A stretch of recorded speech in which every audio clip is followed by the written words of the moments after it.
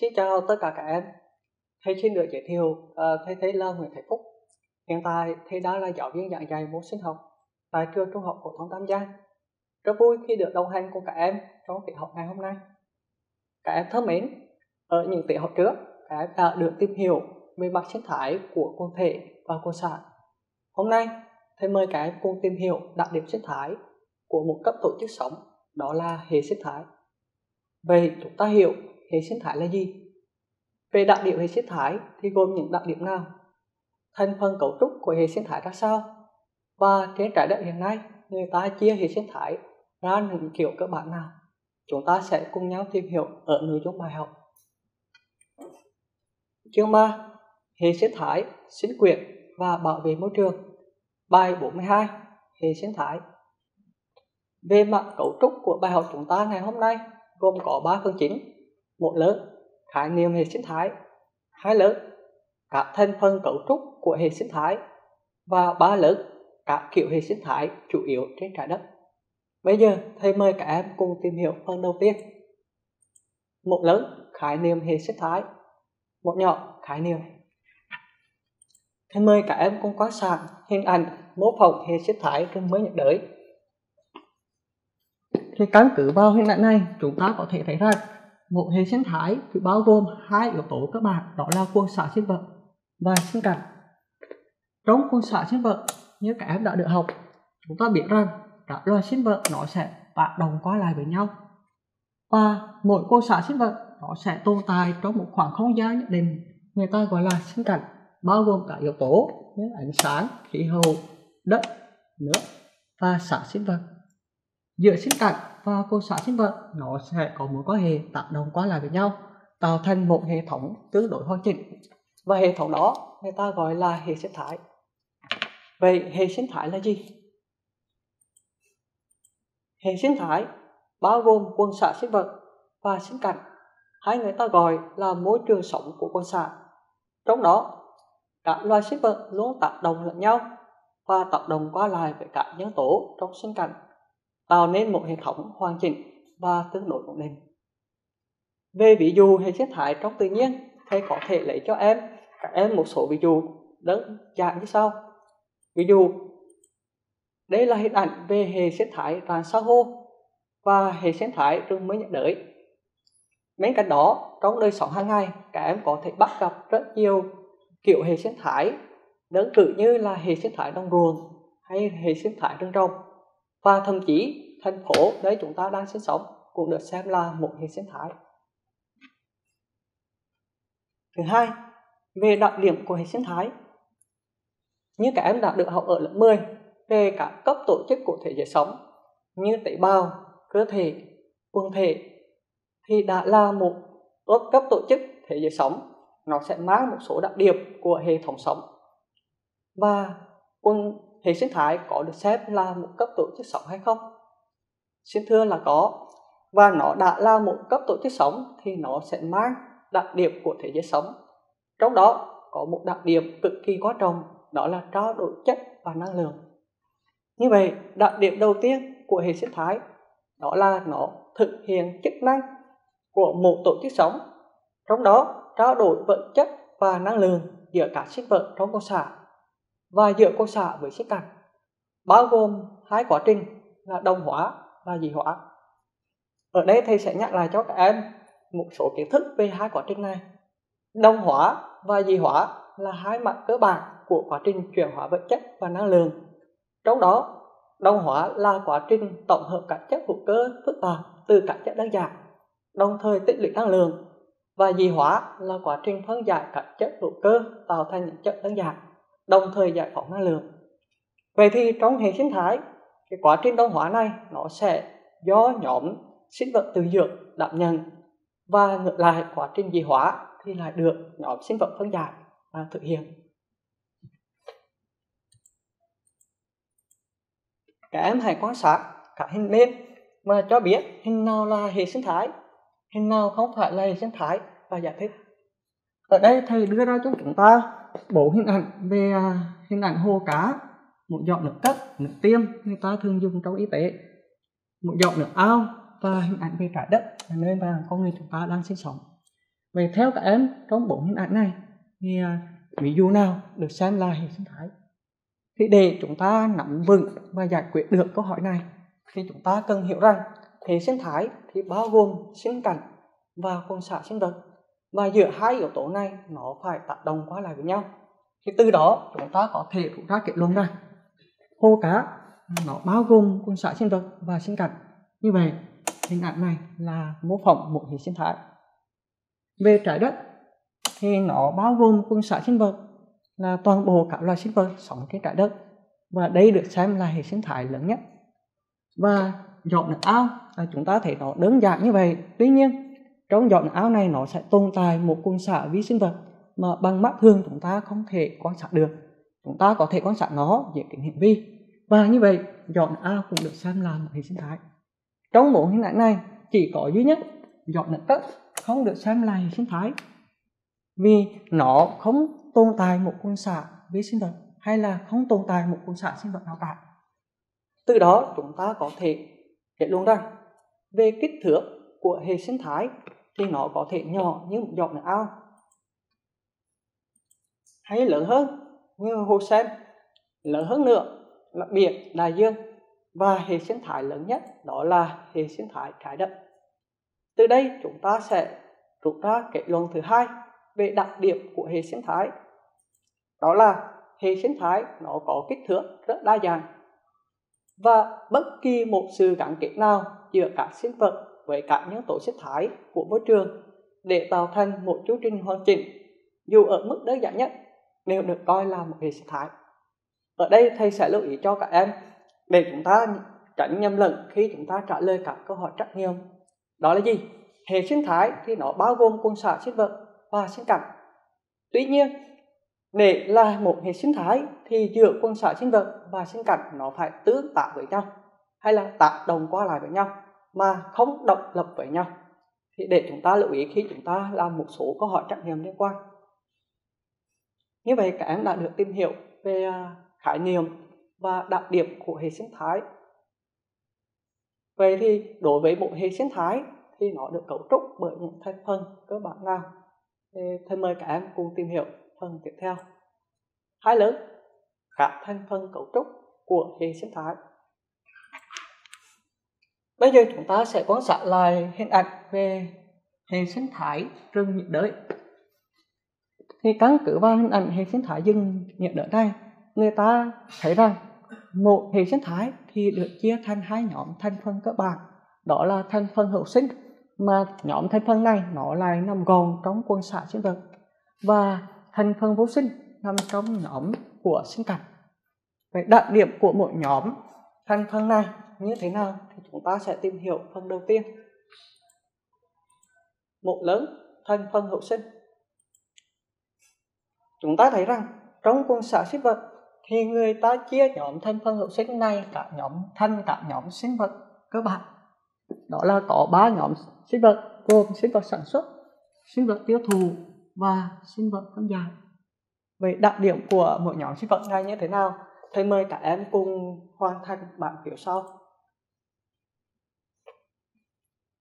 Đây là bảng phiếu nói về đặc điểm của các nhóm shipper trong thành phần hậu sinh thì các em có thể căn cứ vào nội dung sách giáo khoa chúng ta sẽ hoàn thành đặc điểm của một nhóm shipper. đồng thời hãy lấy cho thầy một số đại diện cơ bản về một nhóm shipper mà các em biết thuộc vào ba nhóm shipper này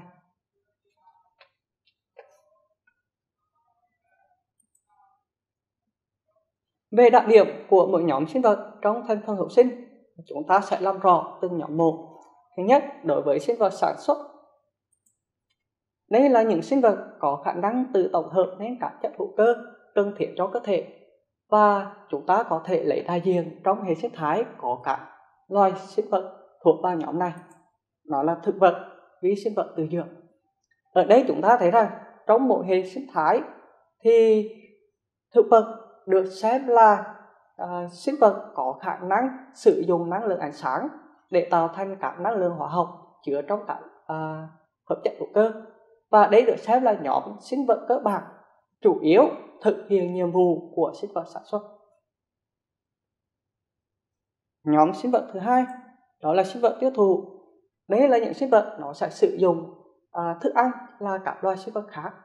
Và trong mỗi hệ sinh thái chúng ta có thể thấy được rằng có rất nhiều loài động vật.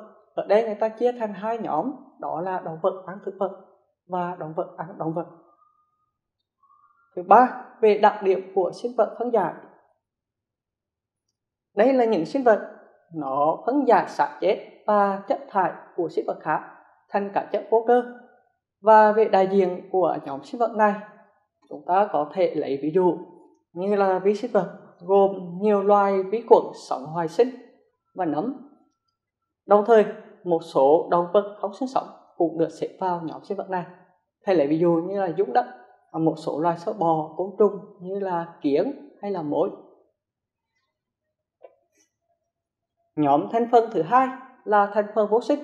À, như thầy đã nói nhóm thành phần này nó sẽ, sẽ à, được à, nằm trong cái yếu tố sinh cảnh của hệ sinh thái và nó sẽ bao gồm cả yếu tố như là ánh sáng à, đất nước cả yếu tố khí hậu như là nhiệt độ độ ẩm, lượng mưa hay là sức gió và xạ sinh vật để củng cố cho các em nội dung phần hai lớn cả thành phần cấu trúc của hệ sinh thái, thì thầy mời các em cùng hoàn thành cho thầy một hoạt lần sau. Ở đây thầy có các yếu tố nằm trong hệ sinh thái đồng ruộng. Gồm có lúa, nước, cà rô phi, ánh sáng ốc bưu vàng, bèo hoa dâu sản xuất chết và khí CO2 như chúng ta đã được học, thì hệ sinh thái nó sẽ bao gồm hai thành phần cơ bản, đó là thành phần hữu sinh và thành phần vô sinh. Các em hãy sắp xếp cho thầy các yếu tố của hệ sinh thái đồng ruộng này vào hai nhóm thành phần, như thầy đã đưa lên trên màn.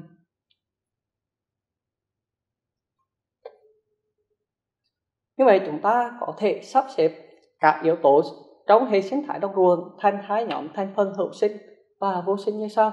Thứ nhất, về nhóm thành phần hữu sinh thì gồm có các yếu tố như là cá rô phi, lúa à, bè hoa dâu ốc bưu vàng. Và chúng ta để ý là những yếu tố này phải là đang sống. Thứ hai, về thành phần vô sinh thì gồm có các yếu tố như nước, ánh sáng, khí CO2 và xạ chuột chết. Ở đây thầy nhấn mạnh cho chúng ta về thành phần xạ chuột chết đây là yếu tố nó thuộc vào thành phần vô sinh và chúng ta đừng nhầm lẫn khi trả lời một số câu hỏi trắc nghiệm mà có xác sinh vật như là lá và rùng hoặc là một số loại động vật đã chết đi thì chúng ta để ý nó không thuộc vào thành phần hữu sinh mà nó lại thuộc vào thành phần vô sinh. Ở đây thầy có một số hình ảnh về một số hệ sinh thái trên thế giới. Đó là đồng rêu hàng đới à, ruộng ngô rừng ngập mặn hay thậm chí thành phố chúng ta sống, cũng được xem là hệ sinh thái. Về trên trái đất, người ta chia hệ sinh thái thành những kiểu cơ bản như thế nào? Thì mời cả em cùng tìm hiểu phần ba lớn. Các kiểu hệ sinh thái chủ yếu trên trái đất. Để chia hệ sinh thái thành các dạng khác nhau trên trái đất, thì người ta có rất nhiều căn cứ khác nhau. Sau đó, nếu người ta căn cứ vào điều kiện môi trường sống thì người ta sẽ chia thành hệ sinh thái trên cạn và hệ sinh thái dưới nước. Tuy nhiên, nếu chúng ta căn cứ vào sự tác động của con người vào hệ sinh thái hay sự hình thành hệ sinh thái cho có yếu tố con người hay không, thì mình sẽ chia hệ sinh thái thành hai kiểu, đó là hệ sinh thái tự nhiên và hệ sinh thái nhân tạo. Thì đầu tiên thầy mời cả em cùng tìm hiểu về hệ sinh thái tự nhiên. Em mời cả em cùng quan sát một số hình ảnh về hệ sinh thái tự nhiên trên trái đất. Ví dụ, hệ sinh sinh thái rừng mưa nhiệt đới, sa mạc, hoang mạc, rừng thống phương bắc, rừng ngập mặn. Hệ sinh thái cỏ biển, hệ sinh thái rạn san hô, hệ sinh thái nở chảy và hệ sinh thái nở đứng. Đây là một số dạng hệ sinh thái tự nhiên ở trên trái đất chúng ta. Thứ hai, đó là hệ sinh thái nhân tạo. Thì chúng ta có thể lấy ví dụ như sau. Đó là hồ tôm, hồ cá chúng ta nuôi thì được xem là một hệ sinh thái vườn rau cải chúng ta trồng hàng ngày cũng được xem là một hệ sinh thái hay thành phố, thị trấn, làng, xã, nơi chúng ta đang cứ sống thì cũng được xem là hệ sinh thái. Giữa hệ sinh thái tự nhiên và hệ sinh thái nhân tạo, nó có những đặc điểm khác nhau cơ bản nào? Thì tiếp theo, thầy xin mời cả em cùng hoàn thành cho thầy bảng phía sau. Đây là một bảng phân biệt hệ sinh thái tự nhiên và hệ sinh thái nhân tạo với các đặc điểm như thành phần loài, tính ổn định, tốc độ sinh trưởng, năng suất sinh học của hệ sinh thái nguồn vật chất, năng lượng mà hệ sinh thái sử dụng. Và chúng ta có thể lấy cho thầy một vài ví dụ về dạng hệ sinh thái tự nhiên và hệ sinh thái nhân tạo. Thứ nhất, về đặc điểm thành phần loài thì ở đây chúng ta thấy rằng hệ sinh thái tự nhiên và hệ sinh thái nhân tạo có thành phần loài đa dạng khác nhau.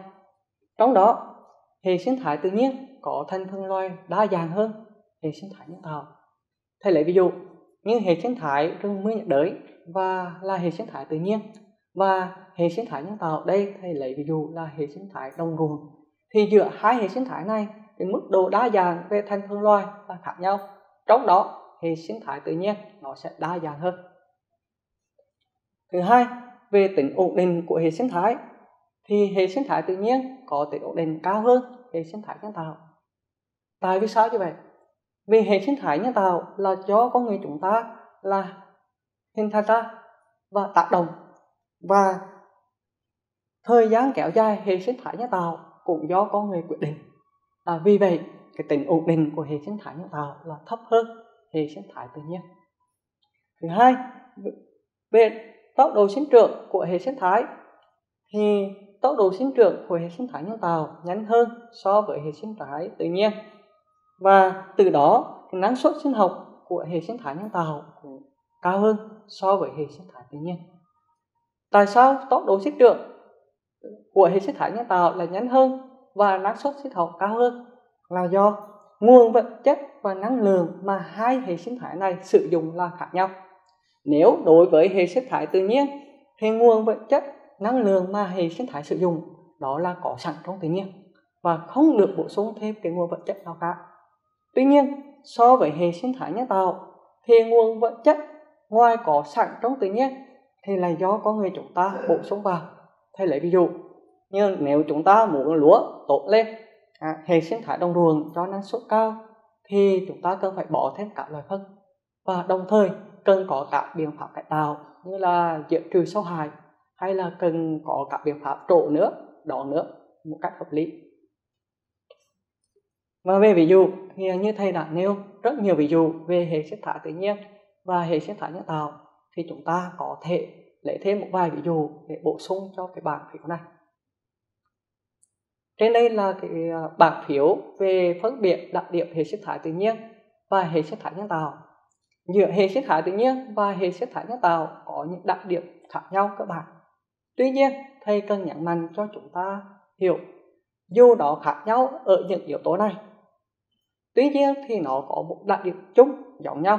Đó là đã là hệ sinh thái thì dù là hệ sinh thái tự nhiên hay hệ sinh thái nhân tạo thì nó phải bao gồm hai yếu tố. Đó là quân xạ sinh vật và sinh cảnh.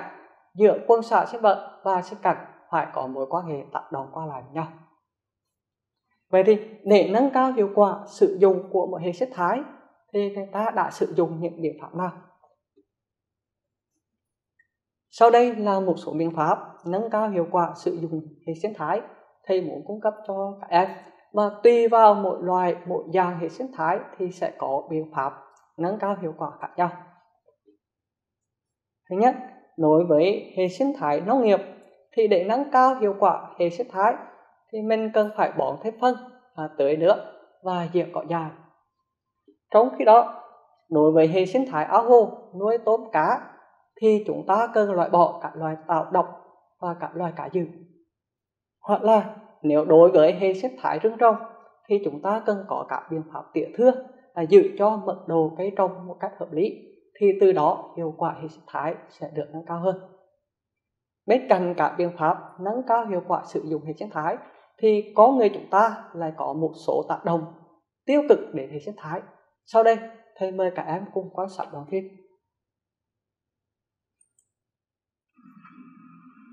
Theo người nông dân này, đây từng là vùng đất có nhiều run sinh sống. Mỗi nhát cuốc bà đều bắt gặp một đến hai con run khi đi đào sới làm tới đất ruộng. Thế nhưng, đó là câu chuyện của 10 năm trước. Còn bây giờ, cả chục nhát đào mới chỉ thấy một con. Theo các chuyên gia, sự giảm dần của loài run là điều đáng báo động cho ngành trồng trọt.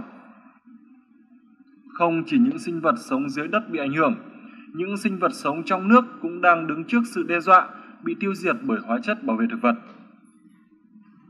Việc sử dụng thuốc bảo vệ thực vật ảnh hưởng đến môi trường sinh thái rất rõ ràng. Đầu tiên là các loại vi sinh vật sống trên bề mặt đất và nước. Sau đó, thuốc ngấm xuống lớp đất mặt làm chết các loài vi sinh vật và sinh vật không sự sống. Sau cùng ngấm xuống lòng đất, làm ô nhiễm các mạch nước ngầm. Để phá hủy môi trường sinh thái tự nhiên, chúng ta chỉ mất một vài năm, nhưng để khôi phục lại chúng, theo các nhà khoa học, chúng ta có thể mất cả trăm năm. Khi môi trường sinh thái tự nhiên mất đi, việc canh tác và môi trường sống của con người sẽ bị ảnh hưởng nghiêm trọng. Như vậy, cả em vừa quan sát đoàn phim nói về tác hại của thuốc bảo vệ thực vật. Và ngoài ra, thì có hoạt động của con người chúng ta thì có thể gây ra hậu quả làm cho trái đất nóng lên và dẫn đến những hậu quả nghiêm trọng phá hoại hay tàn phá hệ sinh thái trên thế giới như dẫn đến hiện tượng cháy rừng hay là hiện tượng băng trang băng tan hoặc là hiện tượng hạn hán. Vậy thì chúng ta cần có các biện pháp nào để uh, giảm tối thiểu cái tác động của con người đến hệ sinh thái nơi mà mỗi cá nhân chúng ta đang sinh sống? Nếu chúng ta sử dụng thuốc trừ sâu thì chúng ta nên sử dụng thuốc đúng thuốc đúng liều lượng đúng lúc à, đúng cách.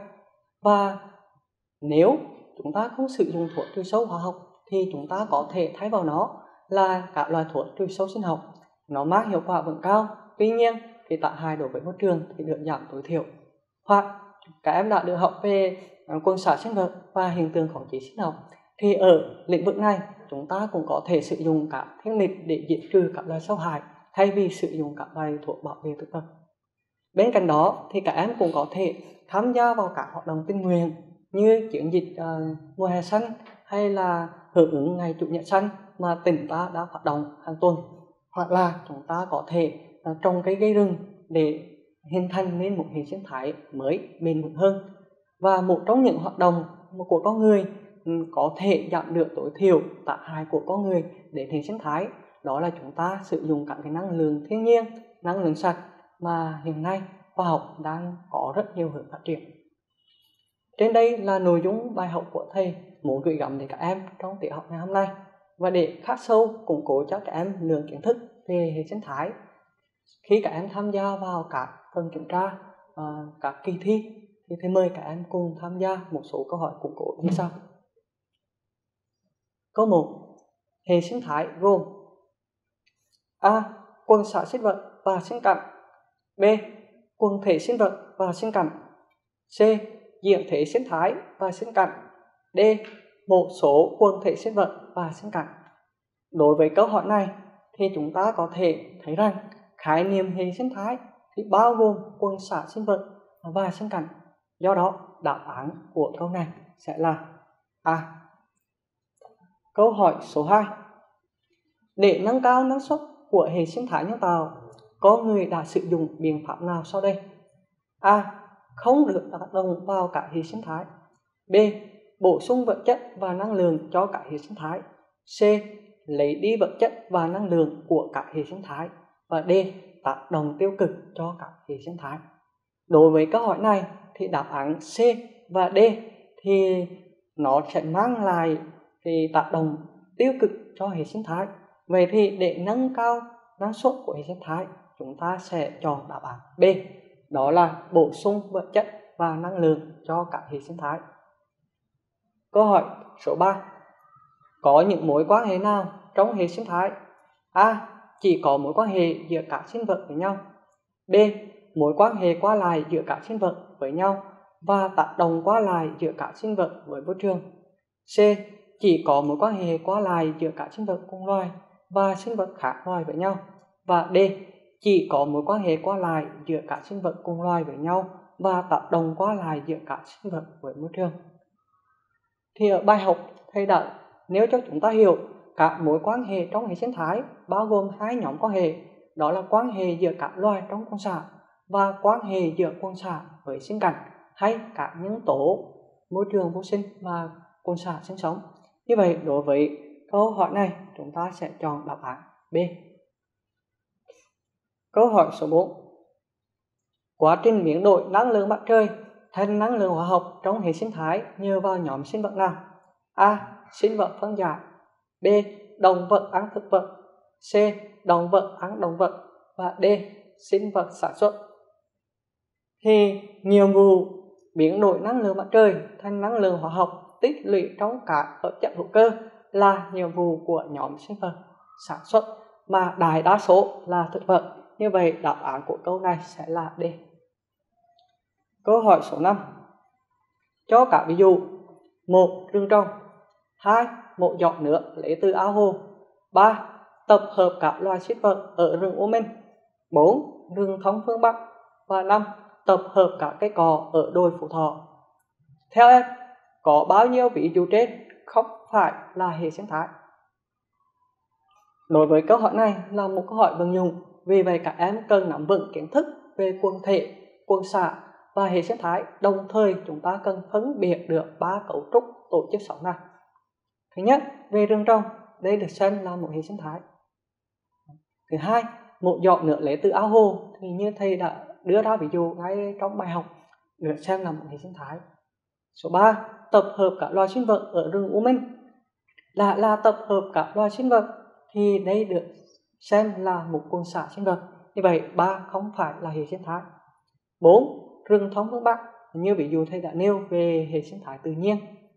Năm tập hợp các cây cò ở đồi phú thọ. Tập hợp các cây cò tức là tập hợp các cá thể cùng loài sống ở trong một khoảng không gian là đồi phú thọ. À, như vậy ví dụ số 5 là ví dụ về quần thể sinh vật. Và từ đó chúng ta thấy rằng trong năm ví dụ này thì ví dụ 3 và ví dụ 5 không phải là hệ sinh thái và đáp án của chúng ta sẽ là đáp án B. Cuối cùng, thầy có một vài ý muốn dặn dò các em trước khi chúng ta ờ, củng cố và học bài mới. Đó là các em hãy trả lời các câu hỏi của bài 42 trang 190 sách giáo khoa sinh học 12 đồng thời chuẩn bị kiến thức bài của ba trao đổi vật chất trong hệ sinh thái Đến đây, nội dung bài học của thầy muốn truyền tải để các em đã kết thúc. Xin chân thành cảm ơn các em đã theo dõi và xin hẹn gặp lại các em trong lần sau.